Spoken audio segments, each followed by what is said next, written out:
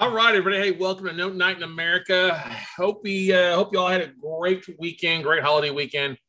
Uh, excited to be talking about some great stuff tonight. I know that you're all interested. That's why you're here. Joining me on Monday night, or is it the Dia de los Muertos, the Day of the Dead? If you're uh, from Mexico heritage, uh, we're going to be talking about some dead Benjamins, dead presidents, and how to help raise that uh, for your deal flow. We'll talk about OPM, other people's money, and really what it comes down to more so, or focus on tonight, is the talking to investors. It's not a difficult thing if you know how to do it and, and approach it from a different mindset. So many, I've I, honestly this week and last, actually the last two three weeks, I've gotten more questions, more phone calls from from you guys out there in Note Nation about this specific subject. Oh my God, I'm starting to market some deals. I'm starting to get people reach out to me. I'm starting to people see some of the things that I'm doing, and I'm, I'm, I'm wanting to have this conversations with them. I'm wanting to, to to get them, you know, they're interested. How do I convert them? How do I get them to say yes to me and, and get rock and roll to fund my deal? So tonight, it's a little bit about that. But here's here's what I want to go before we dive into the nuggets there for you guys. Is take a pen and paper out, ask some questions. There'll be plenty of time at the end to ask questions to leave your questions till the end because I guarantee I'll probably cover them as we get rocking and rolling. And there may be some time at the end. We have some time for some role playing, and uh, we'll go from there. All right. But for those of you guys who are joining us for the first time, hey, welcome to Note Night in America. We host these calls every Monday night at 7 p.m. Central, provided uh, I'm not on a plane somewhere or it's not a holiday for the most part. But uh, we have a variety of people that attend Note Night in America. It's investors of notes, real estate investors, people interested in learning more about note business they are recorded. I did hit the red button. I see it's recording live. Um, you can always watch these on our YouTube channel at weclosenotes.tv. And then also, we do have them coming out pretty regularly on on uh, anywhere that you listen to podcasts. So it is on Apple. It's also on the website as well. I believe episode 89 uh, goes live tomorrow, the blog, everything. But you can always check it out at the Night in America podcast. Check it out there. Hey, do me a favor, hit a five star review uh, or hit a five star and, and leave reviews. So I'd love to have you guys on there. But anyway, getting into OPM, talking to investors. Now, most people think of when they got to talk to investor, it, it's like a scene out of Wall Street. You meant, you know, Charlie Sheen's character, Bud Fox, like he and on trying to land a whale. I'm trying to land Gordon Gekko. You know what I mean? Um, you know, that's that. And other people may think of, you know, the Wolf of Wall Street when he's like, yes, we're closing people on and they're selling them on some things. I mean, Jordan Belfort was really the first person to innovate like the the the the, um, the call book. The call book. I actually was speaking with a buddy of mine who uh, dated Jordan Belfort's sister during the back during the true Wolf of Wall Street days, and the book at uh, their you know investment company, I guess you could say, or boiler room was like two inches thick with all sorts of objections. They object to this, you flip over to that. If they said this, you object to it. So that's maybe not. Maybe you're thinking maybe it's going to be high pressured sales, like in the movie boiler room. You know, you feel like a fish out of water starting out. I got to open 40 accounts and I'm off and rock and rolling. No, that's not the case. It's and it's also not gonna. You're not gonna end up risk getting shot at. You ain't to change your voice like they did in the movie Sorry to Bother You. You also don't have, uh, risk having a, a coke can come flying across the crowd and hit you in the head either. Nobody is going to shoot you or stab you. All right. With what we talk about tonight, unless you're raising money in the hood. And I've raised money in the hood before, never got shot at. Well, I take that back. I have been shot at twice, but it wasn't because I was raising capital. It's because I was in a bad neighborhood. But tonight, it's literally just talking about the conversation. And many people get so nervous about this when you're brand new. If it's not something you've ever done before, that's okay. That's very normal. That's a okay. It is n- normal to feel nervous about what you're doing, especially if you don't come from a you know, any type of sales background, stuff like that. So the number one thing that you have to realize, ladies and gentlemen, if you're going to start raising capital or taking OPM, other people's money and putting in deals, is that you're offering it's an opportunity. You're not going out looking for a crappy house that you're not going to do anything with. You're looking, you've got an opportunity. You've got a real deal. You found a a nugget. You found a deal that can turn into a very positive outcome one way or another. It's notes either get them back reperforming or you foreclose and take the property back. It's an opportunity you aren't begging for money. And this is that's the first thing that a lot of people, well, I don't want to come across like I'm begging for money. And this comes from people that have capital or people that have no cap. You're not begging for money, you're offering them an opportunity. If you're best friend was the founder of Google or let's say YouTube or Tesla or something like that, you'd want or Bitcoin, you'd want them to tell you about it, right? Because you then you could invest with them or do something with them if it makes sense, right? You're offering people an opportunity. If they say no, that's okay. All right. Uh, what you have to realize if the deal that you're going to put them in wasn't a deal, you wouldn't be here talking to them if what you're doing wasn't a deal, wasn't going to be something profitable, you wouldn't be here. You'd be doing something else, right? You're not here to waste their time. All right. You don't want them to waste your time as well, but you're not here to waste people's time. We, let's just, let's just agree to that. Okay. You are offering them by them, friends, families, people you meet, investment clubs, people that answer direct mail, emails, whatever. You are offering them an opportunity to invest with it, an opportunity to put some lazy assets to work, to take turn their certificate of disappointment into something good. You're going to give them an above average rate of return than what they're used to getting. And they don't have to go out and find it. People don't have to go out and hunt their own stuff. You're finding the deals, you're giving them an opportunity to get involved with you on a passive basis for an above average return. Okay. It is not high pressure sales. This is the last thing it's high pressure sales. It's literally talking about an opportunity. Hey, if it's for you, great. If it's not, move on. But at least can I share with you what I'm doing? Okay. And it's not going to be for everyone. You don't want everyone to be an investor. There's the people out there that are assholes that sue happy or talk bad about people, or they just have no knowledge of real estate. They're not sophisticated. They're not smart. Or their last five grand, they're, they're hanging on by a limb. No, it's not for everyone. You don't want everyone to be investing with you. It is basically you're going to eventually find over time that you hit and you align yourselves with a specific amount of people, specific niche of people that comes out to it. And what you have to realize, everybody sucks at this beginning. All right. Embrace the suck is a, a, term that the Army uses. Embrace the suck or the Marines use it. Forgive me for getting whichever one. Maybe they both use it. We've used it here for years. Embrace the suck. You're going to suck at things at first. You're not going to have your perfect pitch down. If you wait to get your perfect pitch down before you talk to people, you're never going to talk to people because the only way you get better is by screwing up. Okay embrace the suck and realize you're gonna hone your skills. If it's your first time or hundred time, there's still going to be things you screw up on, and that's okay. But you have to realize it, it's a lot easier raising capital. Honestly, ladies and gentlemen, is a lot easier for most people than it is going out and finding deals. And so be like, what? I'm like, it is because once you realize it's not such this crazy grandiose thing, you know, it's not something to be scared of. It's something to embrace, and that you come from a different mindset instead of begging oh they won't invest with me. Well, why would they invest with you? If you're not the person doing all the work, you've got a whole team behind you. Why not? And one thing, ladies and gentlemen, good deals find money. I had an investor reach out to me yesterday. I got a million dollar, uh, a five million dollar hotel making five percent. I can take over. Do you have an investor that'll invest it with me? I'm like, so for what? Five percent? What's the, the, the, Is there a discount? I don't know. Anybody's interested in making just five percent of their money that's an active real estate investor. Now, you might be, if you want to go out and raise capital and put a fund together, yeah, you could probably do. Oh, no, I didn't want to do that. Well, that's a different thing. You got to start off with individual deals. You can't try to hit a grand slam out of the park your first time out. It's not going to happen. So, I've raised millions and millions of dollars. We'll continue to raise millions and millions of dollars, especially with our fund that we're working through right now. But the whole premise is if there wasn't deals out there, I wouldn't be raising capital. Okay. The deal comes first. Now, our buddy Joel Blocker, Bullseye Capital, well, it's good to have the money so you can capitalize. Yeah, but you've got to build some experience first. And we're not talking about raising a million dollars. We're not, we're talking 25, 50, 75, 100, starting that process, get the ball going. And that's why we talk about, hey, starting off with one off deals. And here's the most important thing when it comes to raising capital. And this is what's so great about the note business compared to fix and flippers and other things like that you aren't doing this deal all by yourself. You're not the person out there trying to mow the lawn and fix the, you know, fix the paint, you know, paint it and fix the eaves or rehabbing the property when you have no experience.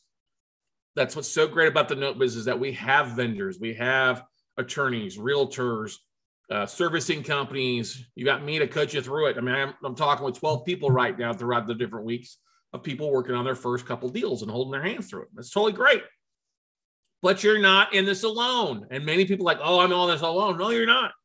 When you have no experience, leverage your team. We'll talk more about that throughout it. But here's the thing I want you to keep in mind. I, I somebody saw this the other day and found it really valuable. That I said everybody could raise a million dollars in the next 90 days.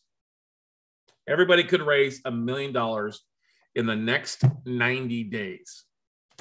Now, the question is, how many people do you need to fund a million dollars? Well, just one with a million dollars, right? But that's probably not going to happen right off the bat. All right. You probably need a few people to come in. Now, if you got two people with half a million, great. If you got four with uh, or five with 200, great. 10 with 100 grand, great. The magical number that we see across the board is 70, 67% of people that have an IRA have more than 150 grand in there. So you're somewhere between, honestly, five and 10 people away from raising a million dollars. Now, if you need to knock it down to uh, 50,000, you'll need 20 people or 40 people at 25,000. Okay. I would not invest with people or have people invest with you that have less than 25 grand and make sure it's sure as hell not their last 25 grand. But you don't need to raise a million dollars to go buy an individual note. There's a lot of people out there buying 30, 40, 50,000 dollar assets across the country that are st- still great, phenomenal returns on investments. For a passive investor, it's also good for the active investor. Okay. You don't need a million dollars. You need somewhere, honestly, to get to a million dollars, you need somewhere between six and 10 people, maybe a little bit more, depending on where you're at.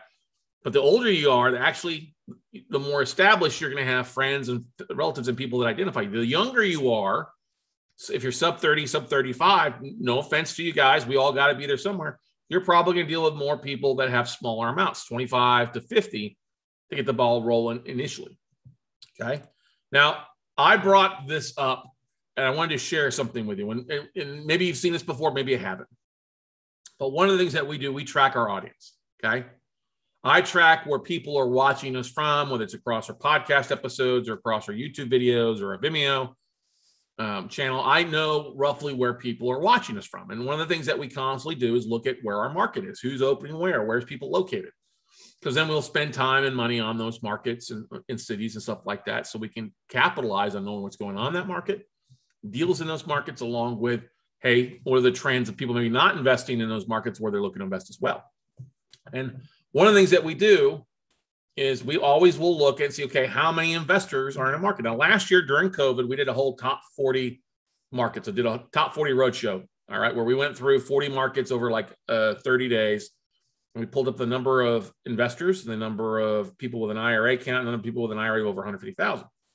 And so I just want to share with you, no matter where you're at, there are so many people around you that have money really not making anything when we talk when we've talked with some of the um, people at different self-directed IRA companies, they tell us what they have. Or they say, "Hey, what do you have under management? One billion, uh, you know, half a million, half a bill, whatever." And always the number is about thirty to forty percent of the money they have under management is making zero. Think about that, and it's making zero percent. And they, you have investors that put money into a self-directed IRA to invest with that have not pulled the trigger. Okay, they're sitting there waiting for somebody to show up and help them make some money. They're just looking for the right deal and the right opportunity. Okay. Keep that in mind. Now, when we pull the numbers here, these numbers might be a little outdated by about a year, but when we pull the top 30 markets to give you a bit of an idea how many IRA people that have an IRA in a Pacific city, look at this. Now, our number one market's Houston, Texas. People that have a, an IRA in Houston, it's 92,000. That number is actually low. It's over, it's over 100,000. Number goes up for you. But you see that number uh, is like LA, 171,000 people have an IRA of some sort. Chicago, 141,000. What's the next highest one? In Houston, they're at 92. San Diego, over right over 90,000 now. Um, I mean, just crazy when you think about it. St. Louis, 60,000. That was a number that surprised me. Dallas, 50,000. Austin has 40 plus thousand numbers going up. Orlando, 27,000, San Jose, 57,000. There's a lot of people that have money sitting in an IRA account making zilch, making nothing, making barely anything. And they're looking, it's literally like millions of people have cancer, and you have the cure for cancer, ladies and gentlemen. You have the cure for a poor return. You have the cure to help them get their money into something that helps them get an above average return on their investment. And you have to realize when you adopt that mentality and start thinking about that, you should it should change how you approach this instead of like, oh, you're like, oh, I actually am offering something really good here. I have an opportunity. Not only is it a, it's truly a win-win. It's a win for me. It's a win for them, but it's really a win for them, not only to get their IRA back up and running, but but keeping up with inflation and all the other stuff that's going out there. And so many people forget about that. All right. So the question I like to ask is, is what if you had a thousand, just a thousand people, not millions of people, not 20,000, not a thousand people in your county that you had their name, their address, where they live, a, a working email, and a phone number. It would be very valuable. The question I was asking, if you had that list, you would know what their home value was. You could figure out if they are homeowners. And based on what kind of house they have, you could probably determine what kind of income level they have. How do you figure that? Well, one of the magical things that we do when we see somebody live in a specific house, what we do is we figure, okay, take that times a four, take their house value times like a 4% interest rate or less. Okay. Depends on the market. And what that, what's that annual interest only payment to be divided by 12, then multiply that number by, by three or four. So it gives you because basically people are going to live above 30, 33, 34% of what they make when they have a house. Now that number is just a bit of a, a, a, our own numbers, but that comes from me being a mortgage broker back in the day, taking what their home value is, multiply times basically 0.2, 0.4, whatever the interest rate is at the time. I'd say 0.4, so you're higher than a little bit level. That's going to give you total interest paid. Divide that number by uh, three, and that's roughly what their monthly income is. Okay. Uh, Susan asked a question: Do you contact self-directed IRA companies in those cities to find out what clients need somewhere to put their money? No, Susan, I already know that they need somewhere to put their money. There's no doubt about that. No, and a self-directed IRA company is not going to give you that list. Okay. But you can go out on the county records and find people at the county appraisal who've bought a property with their IRA, people at the county um, recorder's office who've lent money out of that. Or you can pay like a list service. Like what we do a lot of times is we'll buy a list from a list service that gives us people, you know, give us 16,000 names across the country in different cities that we'll dive in. But if you pull this information, right, the question I would ask if you had a thousand people, would you do anything with this list? And if you would say yes, yes. Say, if you're in the chat roll watching me or on YouTube or wherever you're watching the replay, say yes, I would do something. Yes, yes, I would do something. Okay. And the question I'm going to tell you, I'm going to tell you right here, no, you wouldn't. no, you wouldn't because I already know some of you know. Here's the thing only 10% of people take action. All right. And I'm, I'm making this a joke a little bit because I, I love you guys, but honestly, no. Many of you have already been through a workshop. We talked about this. We showed you how to pull those lists and pull those leads, stuff like that. And none of you are doing anything. It's the most, that's the most frustrating thing on that. My education side of what we do is that we show people, we will literally show you how to pull these lists and people will not take action. But if you take action, you will find success. Okay.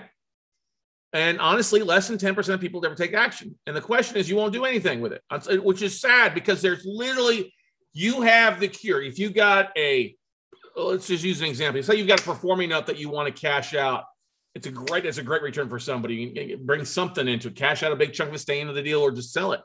Or if you got non-performing notes, there's people looking for returns. There's literally people dying out there for opportunities. And the, we've shown you how to raise the capital. We show you how to find these. It's just about you. Would you do anything with them? And the thing that scares people, and that's what we're talking about tonight, is yeah, I can find the list, but what do I say, Scott? What do I say to them? How do I talk to them? What? Oh my God, they're going to ask me questions. Yes, that's okay. You have to realize, ladies and gentlemen, you can find people on LinkedIn, Facebook, Twitter. We've talked about connecting with those investors. That's one of the things that we do. We'll pull these lists and we'll start slowly connecting with them, either through email or through LinkedIn or Facebook or Twitter. We've got a VA that helps us with that implementation. It takes some time, but we're not going to be around just for a year. We're going to be around long term 5, 10, 20, 30, 40 years. I expect to be working until my 80s. It's not really work if you enjoy what you do. Okay. I probably won't be doing no Note Night in Americas on Monday nights at that point, but who knows? Um, but the point I'm trying to make is here is there are investors around where you're at right now. All of you could go to the county records in every county, the county recorder, the county clerk, and look for IRA companies, equity trust people who are the grantee, grantor, the mortgagee or mortgagor in your county to find people who have lent money out of their IRA. And you know what you could do? You can send old fashioned direct email or direct mail to them. This is still the only thing that we send mail to. Now, we don't send postcards or yellow letters out to note investors or banks. We don't do that, but we do send some direct mail out to IRA investors. And I want to share that with a little bit to kind of show you how we preempt that call, how we preempt the conversation, how we get people that we reach out to to say, Hi, I'm interested in finding out some more. Okay. But like literally, I can pull up, I can go to a city and pull up addresses where people live off our list and literally see exactly where they're at in the minute. This is a, a uh, map. We had a property in Cincinnati that we took back. And what did we do? We literally sent out about 850 postcards uh, about that deal to investors in the area there. And we raised a ton of capital from it for that one deal. It, people were fighting over it to fund the deal, which made our price go up. But it also said, listen, if it's not the right deal for you, we can call you on the next one. And that's the whole thing, ladies and gentlemen. Not everybody's going to be ready to go when you're ready to go. This is why it's got to be something that you're doing on a consistent basis. And this is not the bet, not to be intimidating. Like I said, not like it's not like boiler room, buy, buy, buy now. Or this is meant to be something that's easy to put in place with a little bit of work and a little bit of investment. You're starting. So the first thing that we do a lot of times is we drop a postcard. And this is one of our postcards that we send out. Is your piggy on track for retirement? That's the front of the card. Okay. Logo down at the bottom. It's what we send out. And on the back, and then I'll share with what we do in the back. But if you got this postcard, and I'm going to ask you all here, which of these hot buttons, if something was offered up in the backside, I'll tell you what, we buy these at 5,000 a chunk, so 6,000 chunks, because they usually give us an extra bonus from PostcardMania. That's who we use. We buy them in a bunch because we use these not only for these are the big five by seven postcards. They're very glossy. It's got our name, our logo, my, you know, our, our company name, website, phone number, an email address on there. And then we leave the rest of it blank, but we add different things to it to switch it up to test our marketing, depending on where we're sending it to. Now, if I'm going to a REIA club, I'll pass these out as business cards. Say, hey, if you'd like to get more information, fill out your name and information and just turn it back into me. But when we send it out, you know, if you got a big five by seven floppy postcard like this, would you look at it? Especially if I read a little thing on there, hey, you're looking to invest, or I see you've used your IRA to buy a property in this neck of the woods. You want to, yeah, we'd love to talk with you. Hey, check out this website, check out our website or video on how to capitalize on 2022 or talk about distressed debt or your little pitch video. We've talked about a pitch deck video for 15 minutes. Hey, find out how we're making America great again, one default to borrow at a time. Know, would you, if you put a 1 800 number or a phone number there where people could call you to ask you questions about a deal, maybe put a picture of a problem. Hey, we just closed this in your backyard. Give us a phone call to find out how you could have been the, could have made an above average return by working with us. Maybe you request an ebook. Is the whole reason why we wrote a book. You know, how to buy real estate. We send this out a lot of times. Hey, if you'd like to learn about note investing because all the defaults, go to this website and you can download your free ebook or request a one. We'll send it to you. Okay. Or if I'm local, hey, I'd love to meet you for coffee. Let's go meet the Starbucks or Mojo's down the, the street here or wherever at uh, Pan- Panera, someplace neutral. If you'd like to meet for coffee, let's do that. Or meet in person, come by the office. Or let's meet you know, at the title company. Some I mean it's a meetup group. All right. It's not meant to be a difficult thing, but when we start, when we plan our years out, like it's now November 1st, we're already planning for 2022 where I'm going to speak, where I'm going to go. Like I'm going to an event in a couple weeks in, uh, in, uh, I'm sorry, in, uh, where am I going? It's the Private Lender Expo in Atlantic City, New Jersey. I'm taking a stack of these business cards with us. Hey, if you'd like to find more information about our deals, hey, turn it in or go to this website and register. Very simple information to pass out to some things. Now, now, how many of you would throw it away? Some of you would throw it away, which is okay. You're not the right person. If you throw it away, that's fine.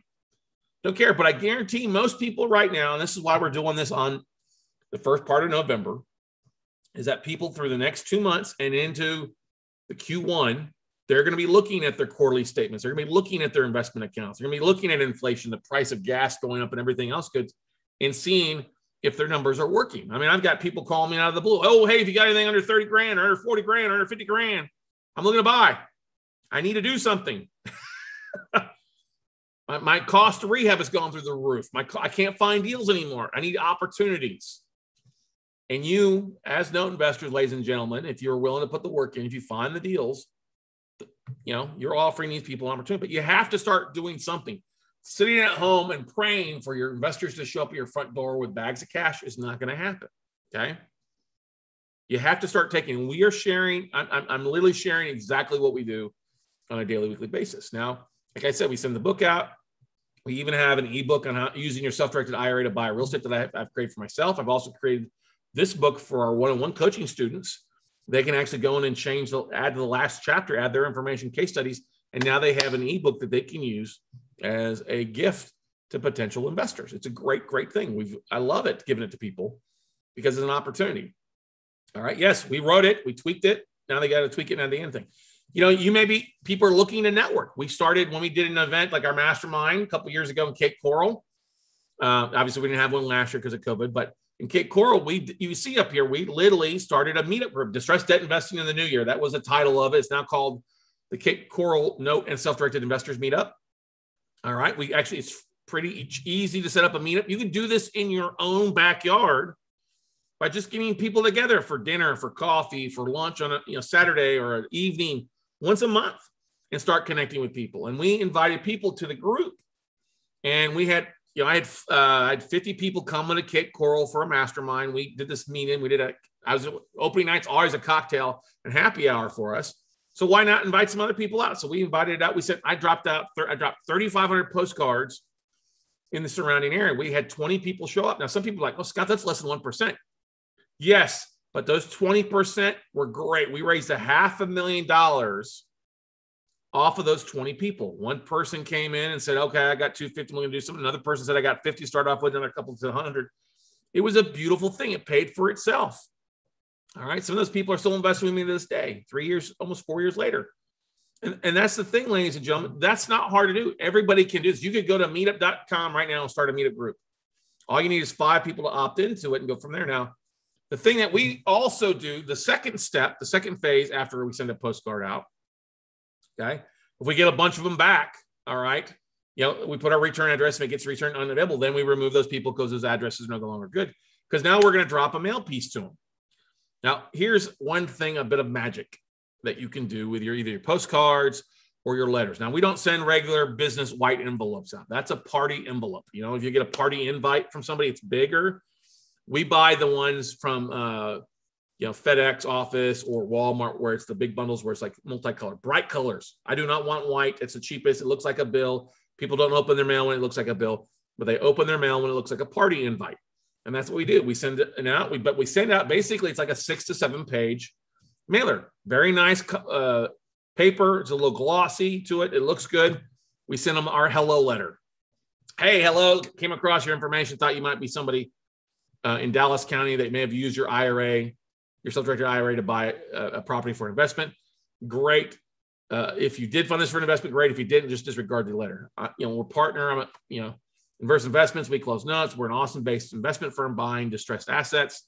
We've been in business since 2007, and uh, you know, whatever. We recently closed on a couple deals or an award or whatever it might be.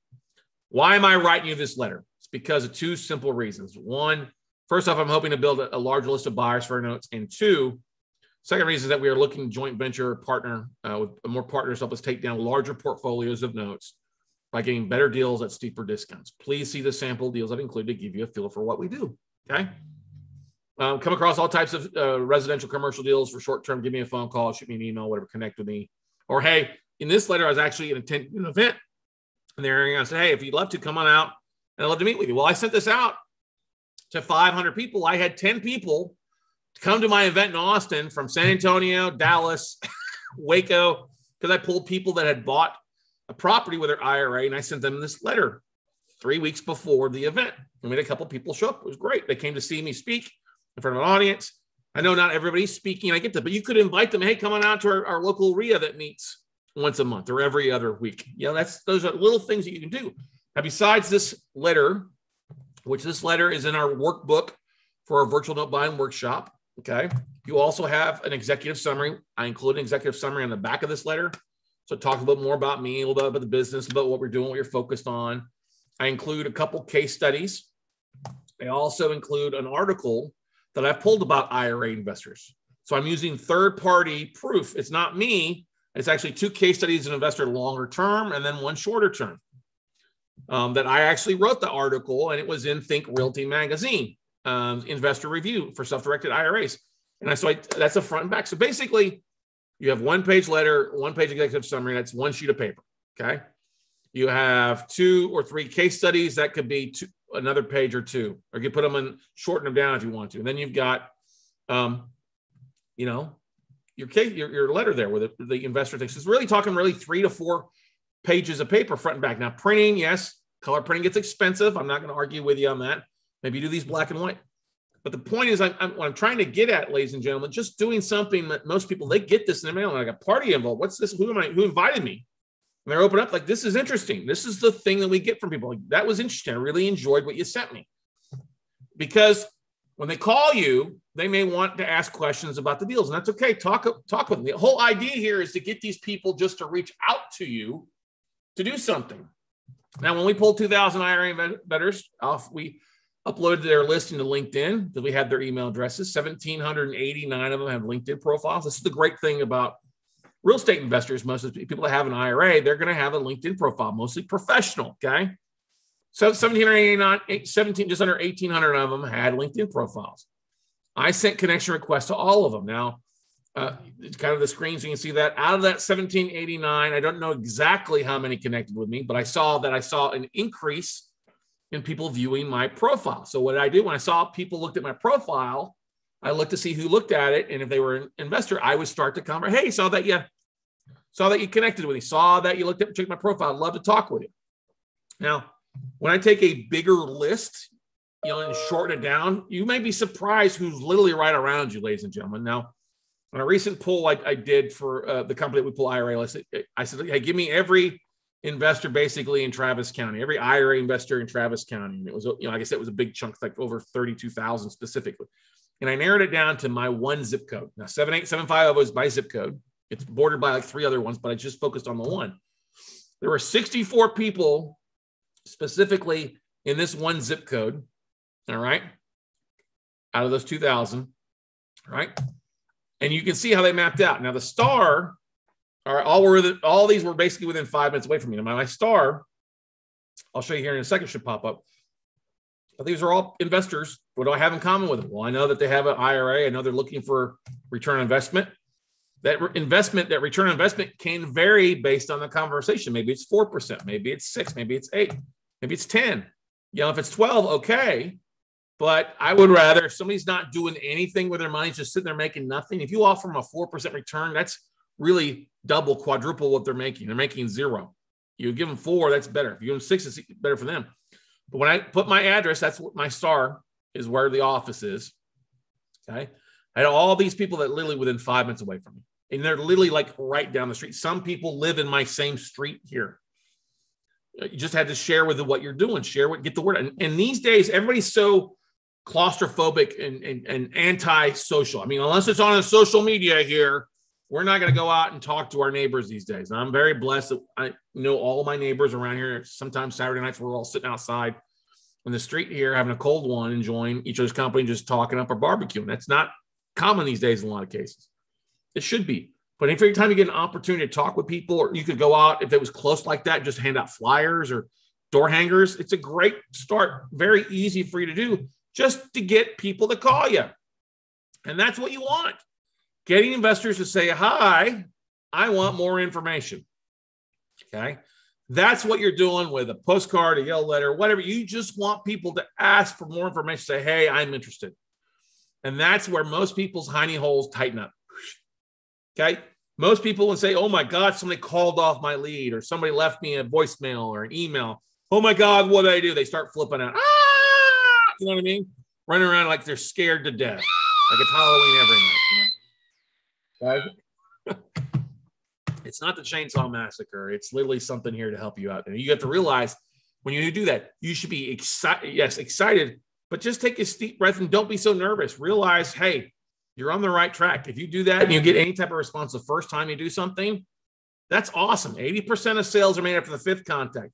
It should get you rock and rolling. As hey, if I got this with just one thing, imagine if I did a two, a second, a third, a fourth time. Okay. Now, what you have to realize when you're talking to these people, they say reach out to you. It's just a call or a meeting between two people. It's just a conversation. Hey, thanks for answering my letter.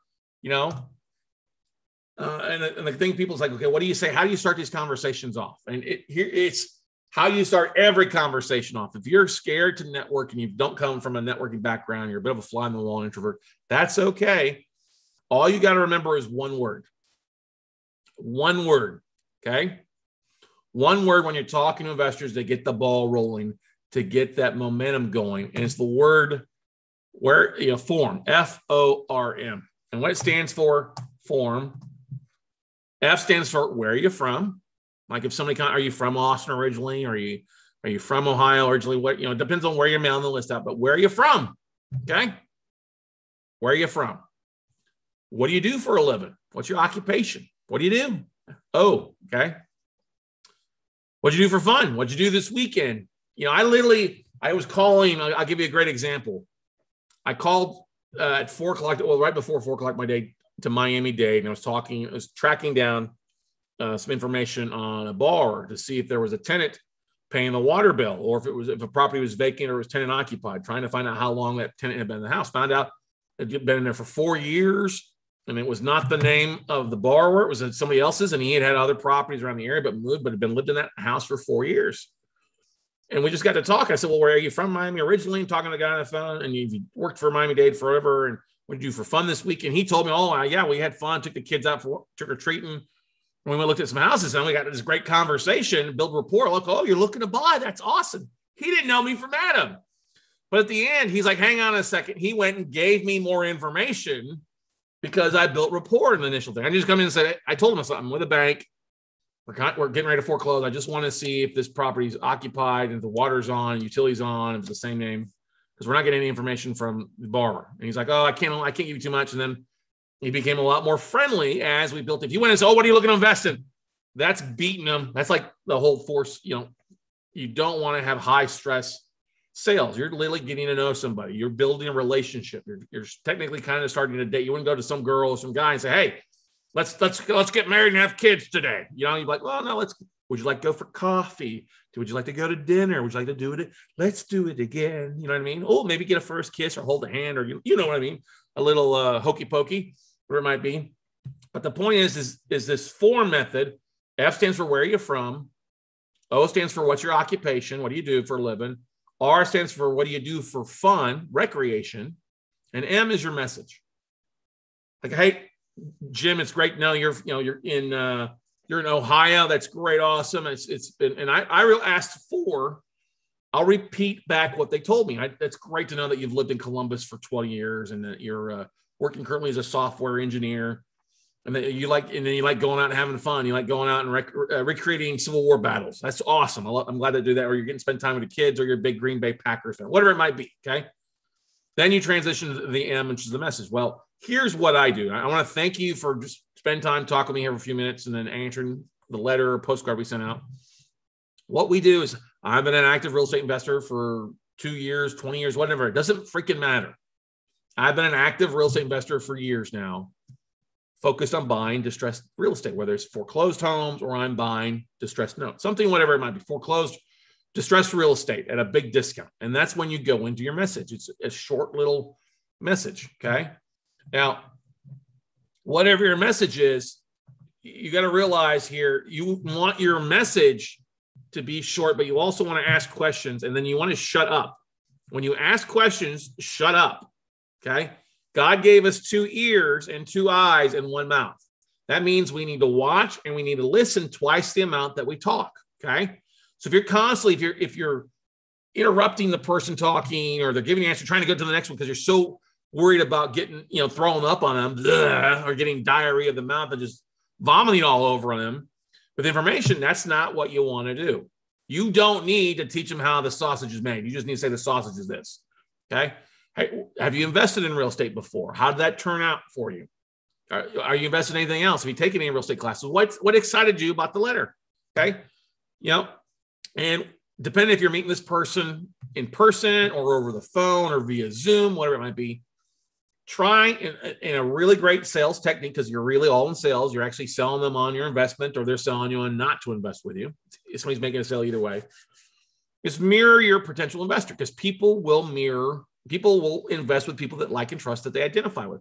If you're if the person you're talking to is really quiet and soft spoken, if you're really loud and crazy, they're out, they're probably gonna be like, ah, not invest with you because they don't feel comfortable. They talk real fast and real fast and they talk real slow. You have to slow your speed down. This is the thing I struggle with because I get so excited about what I do and I speak fast, right?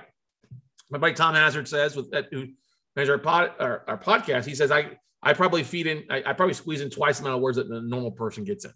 So when I'm talking with people, I don't want to drink a lot of coffee. I sure as heck don't want to drink a Red Bull. I want to bring it down. I want to match their energy, their loudness, their speed, however they're talking. I want to match it so that they understand it, so that it builds rapport there. And you always ask this question What have you invested in before?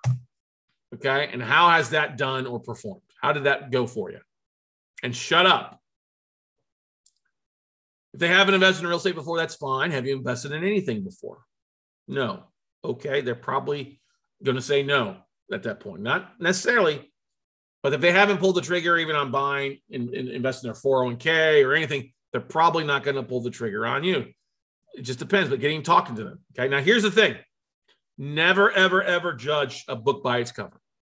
When I was starting off as a financial advisor, and I've been trained on asking questions by some of the best sales companies out there Verizon Wireless Enterprise Rent a Car, um, golly, Chase Manhattan Bank One, some of the best sales training out there. Never judge what they're wearing. They could be coming from something, could be coming doing from something. I, I, you know, biggest mistake I made early on is I judged a guy who wanted me to meet him in his trailer in his trailer park. I showed up. He had this green, you know, shirt on and a big semi trailer. I was like, oh, this guy's not going to be money. And he had 250 grand to plop with me to invest in stuff. So never ever judge a book by its cover. Always go into it realizing that hey, everybody's a funding source. It may not be them, but they may know somebody. So you always realize it's an opportunity for you to give your pitch to, to sell your craft, to hone your stuff by talking with anybody you can talk with. Okay. Now I always ask, hey, what are you looking for? You know, investments. What are you looking for? Are you looking for a, a, what kind of term? Are you looking for like a short period of time, like three years or less, or five years or less, like a CD? Are you looking for a decent above average? Are you looking for return? I mean, when somebody asks, when, when somebody says that when you ask them what they've invested in, they tell you what they've invested. Oh, it's in a CD. It's like, oh, how's that doing? And they tell you, oh, like 1% or 2% or negative percent. Keep that in mind because that's a great opportunity to say, well, if you're making 1% over here, if I could show you three or four for a short period of time of like, you know, three years or less, would that be something interesting? Yes, of course. Some people need cash flow. If they're re- older, they need to get some cash flow coming off their stuff. They may be living off it. If it's in a self-directed IRA, they can't touch it, so they can't live off it. Maybe they just need to make sure it's it's low risk, whatever it might be. These are great questions to ask, but then listen. You have to listen to what people tell you because they will tell you their hot buttons.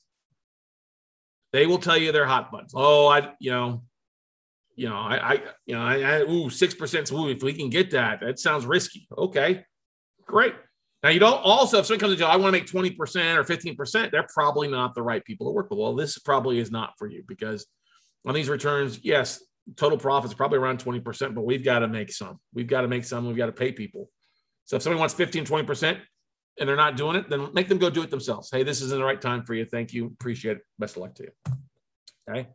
And the question is, you always have to ask them because the last thing you want to do is go through a presentation, be all excited, and then come back. Well, I got a thousand bucks. I got 5,000. Okay, great. I got $100. Can I invest with you now? How much are you looking to invest? What are you looking to? Okay. What are you, how much are you looking to put to work? 25, 50, 75. You know, I, I love to, I wish I could help everybody, but when people come to me like, I got 10 grand or I got 15 grand, I'm like, ah, that's a little too less. It's not enough to do anything with really. Let's get you, you know, hey, let's maybe have you do something later on or let you keep building that and we'll go from there. Okay you really don't want to invest in anybody who's got less than 25 grand. And, and an important thing too, where are the funds coming from? Oh, I'm going to show up with a bag of cash uh, at National City. I'm going to get across the border from Mexico, $25,000 cash. Yeah, that's probably not a good idea. What's coming from a line of credit? Okay. Is there interest rates of a line of credit? Oh, it's coming from a, a CD I'm cashing out or closing on a deal. I'm getting a check on this. I'm going to run and roll into something else and I'm doing work or it's in an IRA right now.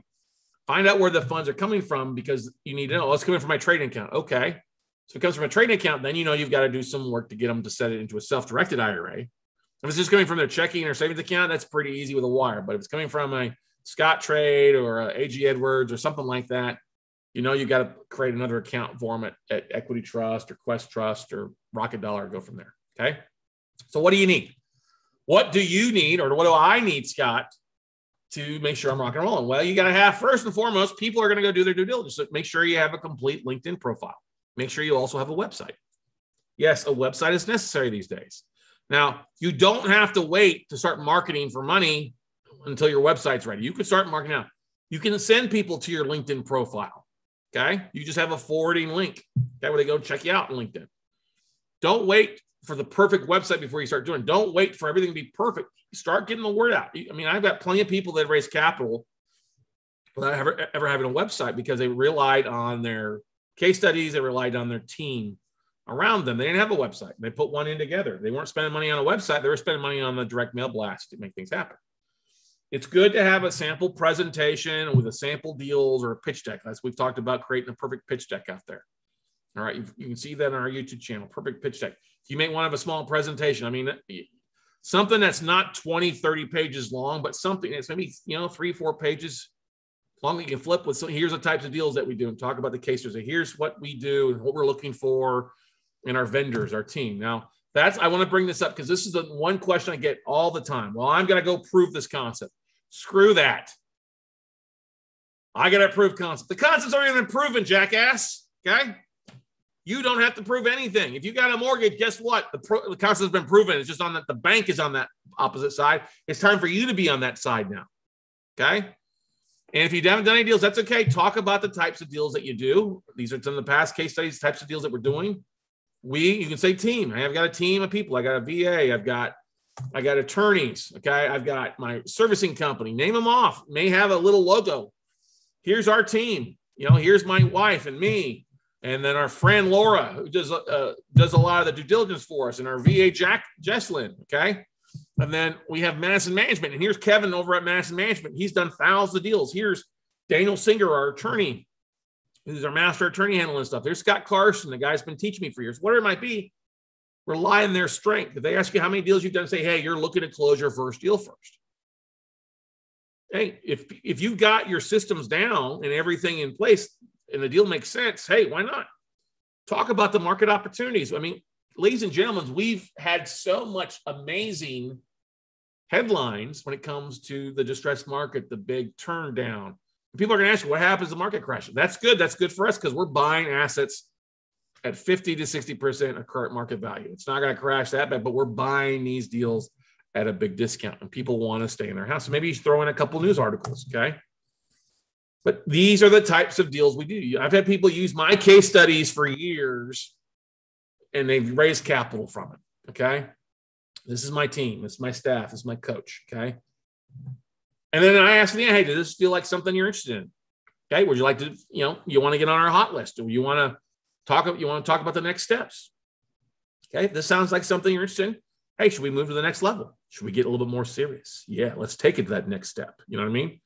Don't be afraid to ask that. If you go through the information and never get the ask, then you just wasted your time. And this is the ask. Okay. Hey, do you feel like this is something that you might be interested in, in doing? or partner with me on this stuff or, or fun in a deal to get your feet wet. What do you say? What are you thinking? And you know what? People will say either no, and that's okay. Not everyone is a yes. I always look at when somebody tells me no, not right, it means not now. Okay. A no is good. It means not now. Okay. Come back to me later.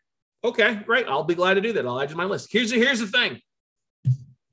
You have to realize if they tell you no right now, you probably just need to get better at your your your your pitch, your talk. The thing that they raised their hand and said yes is all you need. You've got their name, their phone number, their email address. You can now add them to your drip marketing campaign. And you know what's going to happen? As you market, hey, I got another deal and I got another case study. Hey, just closed on that. That will help them say yes. Like, oh, Steve actually is closing some deals. Oh, David actually knows this stuff. Look at him. Kudos. All right. A no is good. It's okay. I embrace the no's. I know that it took me 40 no's before I got my first yes as an investor. That was all in one day. Okay. I know it took me 69 no's to get yes from well uh, from uh, Capital One. I know it took me 54 no's before I got my first yes for buying a, por- a portfolio. No's are okay. No means not now. It doesn't mean don't ever call me back. Like, okay, if you talk to them and they're on the phone with you or in person, they're not going to sit there and smack you in the face. If they do, they got issues. But the point I'm trying to get is we talked about this before. Avoid your low balance investors. If they if they don't have 25 grand to invest or they don't have that much in the market or anything like right now, they're just not a good fit for you. And the no could be you saying no to them too. Like, listen, 20, you only got 15 grand. That's great.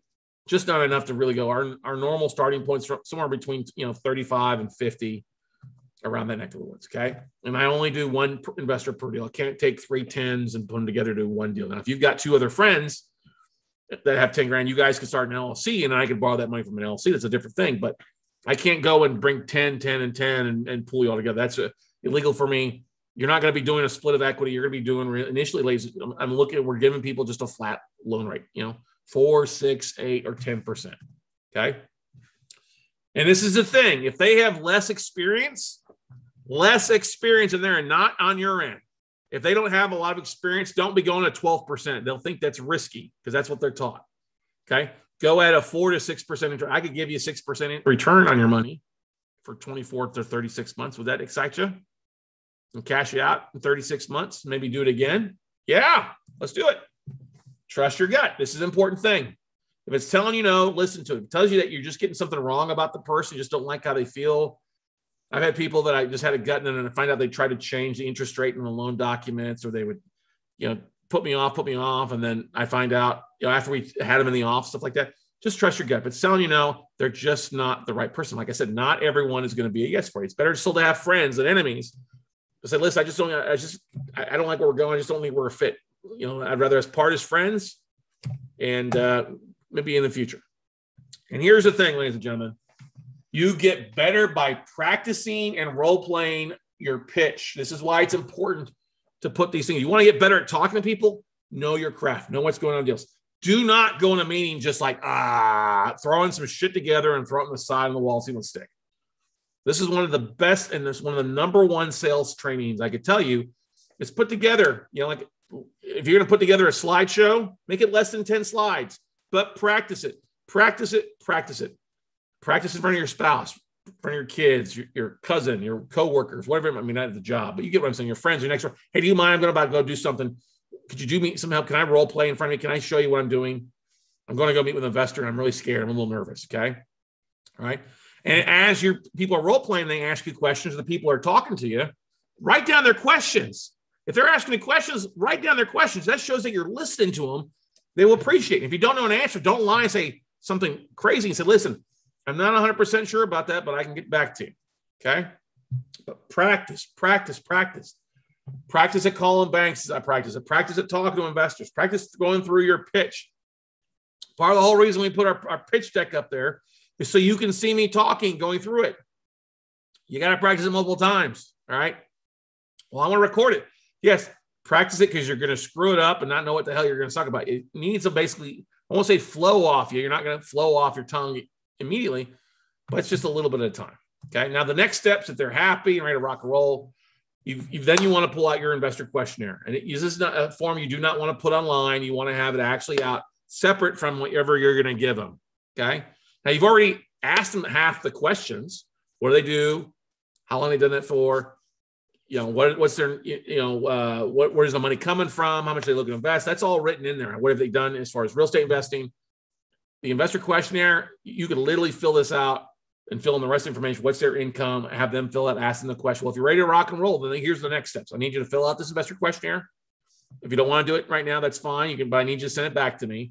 I also need you to send it back with a proof of fund letter which is just basically a statement, quarterly statement or bank statement showing the funds that you have. And then I just need it in the email you send it back to me. Just say, Scott, there's 200 grand in this account. I'm pledging 50 grand to you for the next 12 months. There's no, they get chicken feet and, and you know, uh, scaredy cat and, and balk. That's fine. Let them balk.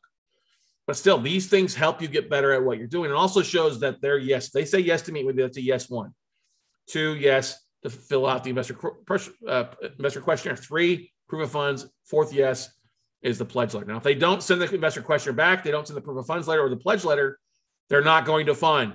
Okay. So here's my magic rule I will only follow up with people on these three times because I'm not going to bother them beyond that. Now, they've met with me once, great. I say, hey, I've got a deal coming down the pipeline. If you want to get this thing rock and rolling, I need you to send me that back that investor questionnaire and then a proof of funds and then a pledge letter. Because if they're not going to do that, then you need to move on to the next. If people aren't serious, do not let people waste your time. Next, next, next. Okay.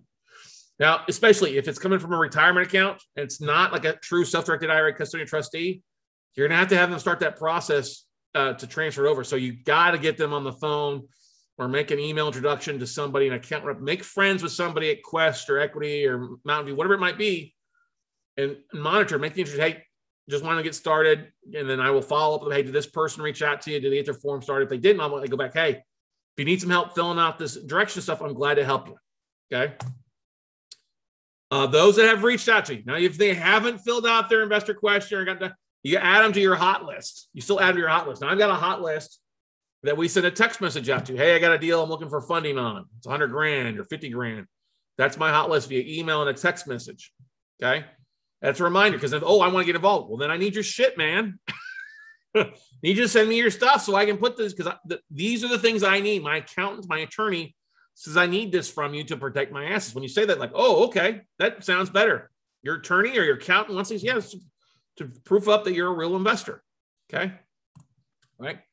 Yeah, and this is a beautiful thing is sending like an email or using easy uh, EZ Texting to your hot list. Look, email them your current deals. If they said no or they didn't return, still keep them on the list because it may take some time to come around. But I'm only going to ask them three times for the investor question. If they don't send it to me a third time, I wouldn't say they're not ready, but we'll still add them to the hot list and keep moving on. Okay. And we add to our newsletter. Okay. If you close a deal, you know, hey, you may want to highlight it. Hey, so and so, especially when you close a deal and you send their money, but hey, and hey, so and so you got their monthly interest check or they just got their payoff on a deal. Okay. And then, of course, connect with them, follow up with them, see if they've got a LinkedIn profile, connect with them on there. Because as you're posting other deals, you want them to see an email from you uh, on social media, you're posting about deals. They're like, whoa, he may, he said he didn't have a lot of experience, but he really is sharing some great stuff online.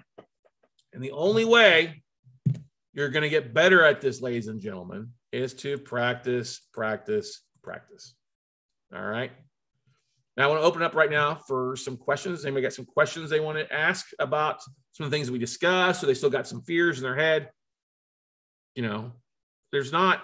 I mean, it's a matter of first and foremost getting the word out what you're doing and getting people to contact you. That's the first thing, whether it's going networking and doing the old one on one way or going out and starting to connect with people online. They say they're investors through LinkedIn. That's a way that we do it as well. Or actually sending out a letter or a postcard, starting that ball going. That's the only direct mail that we do. But if you're looking for people in your area, guys, all you got to do is drop me an email. I bet you I could tell you in five minutes, I can jump online and see how many people in your area and show you how to pull it. It's not hard. We've done it all the time on our virtual workshop and walked you through that in a lot of cases. Okay. Uh, Catherine Bell, I got to give Catherine a big kudos. I don't think she's on here tonight. Um, she did this. We were out working with her one on one, two days in Phoenix. We pulled a list of 700 IRA investors that had bought a property or funded something around the two counties there, around uh, Maricopa County. And she sent out uh, letters to them, the exact letters that I told you. We helped her write them, send them out.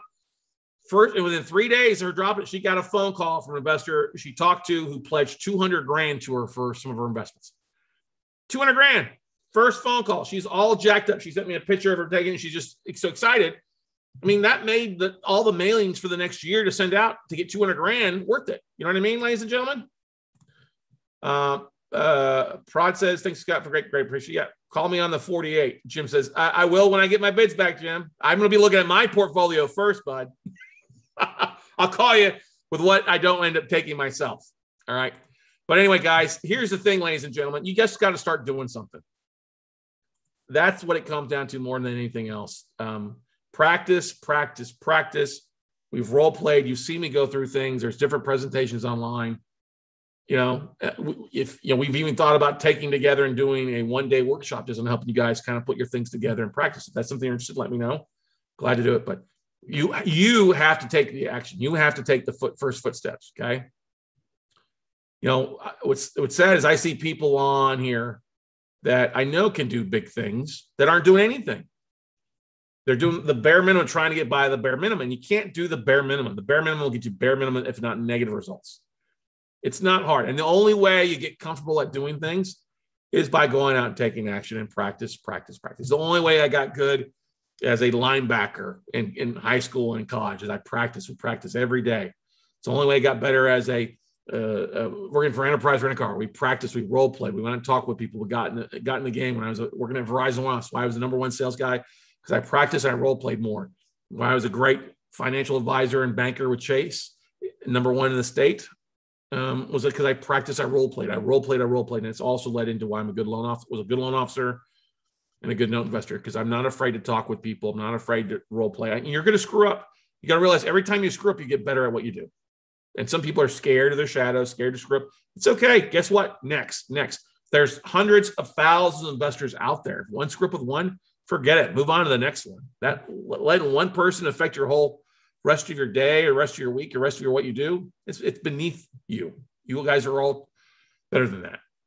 So, any questions, comments, concerns? If you guys could do me a huge favor, I don't really ask a lot of things from, but if you guys could do me a favor, we're really looking to add some new uh, reviews. So, if you enjoy the Note Night in America, we're doing this live, and if you listen to the podcast or you like the Note Closer Show podcast, could you do me a favor? Can you go over to iTunes and take five minutes and leave me a five star review? And uh, uh, you know, a five star, hit the subscribe button to either Note Night in America, Note Closer Show, or go to both and, and just leave a review. Five star review. I would love it. It would help me out a lot. If you do that, I will probably reward you with something special. So make sure you do it. Take a screenshot. Shoot, shoot me a screenshot, especially if you have a weird URL. But Apple, iTunes, if you type in Note Night in America, Apple podcast, it should take you there and be able to hit a review and go from there. So I want to thank you all for joining me. If there's no other questions or comments, we'll let you guys go tonight. But thanks for coming on strong. You all are capable of doing amazing things, ladies and gentlemen. And uh, we look forward to seeing you all top, everybody. Bye.